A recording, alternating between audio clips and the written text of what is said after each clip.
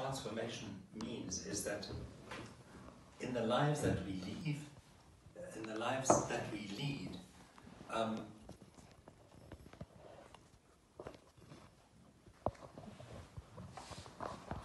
are subject to our own, in a way, our own interpretation. You know, your life, my life, is not fixed. It is possible, in a way, to transform the reality that you have to a completely, a completely new one, which is in, in synchronization with an, a new image from which you are able to inspire yourself. Yeah? When you work on your mind, oh, your mind is the source of everything that appears within your own reality. So if you want to change your reality in any way, be it emotional, be it financial, be it geographical, anything, anything at all, the place that you need to go to is yourself, uh, is your own mind, is your own deep, quiet space. And the reality of that is, it seems so logical, but it's so misunderstood. It's so misunderstood because the steps to actually get there require initially to do something that the whole society in which we live leads us away from. We live on the surface. Everything, our, our consumer world leaves, leads us and leaves us, leads us and leaves us on the surface where it's only from the depth in your own soul that you're able to recreate a new world which is fitting to the real person that you are in, yourself. Yeah? Now,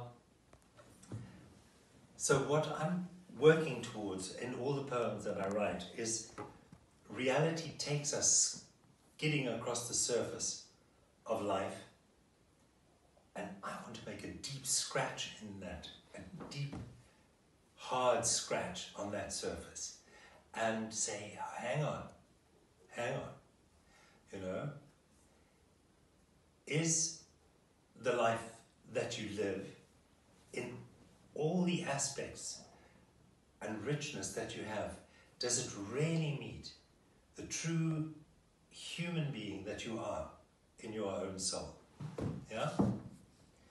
Is your life a real reflection of that intrinsic creative being in, in deep inside you? Because if in any way it's not, the question is why not? Why not? What is that small, invisible wall in your own mind? What is that wall preventing you from, in a way, materializing who it is that you truly are? Because what we are is something quite magnificent and immeasurably more powerful than I think any of us actually believe. You know, when you start to tap into this, the deep power of the subconscious mind, the world, you transform the world in which you live. And the universe is actually, it's, it's a universe which just resonates with what it is that you give it. Yeah? So, how do we get into that energetic resonance with the universe such that what I really am becomes apparent to the world in which I live? Does that make sense? Does it make sense? I want to hear. Does it make sense? Yes, it does make sense. It makes sense, doesn't it? Yeah. Okay? So, if you say to yourself, I want to start resonating, I really want that energy in myself, basically, I want to upgrade my inner energetic power, which is fitting to the human being that I really and truly am. Okay?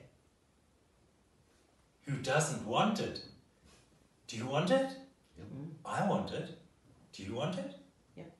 Do you want it? Mhm. We all, of course, we all want it, right? But everything in the society that we live in takes us away from what it is that we actually want.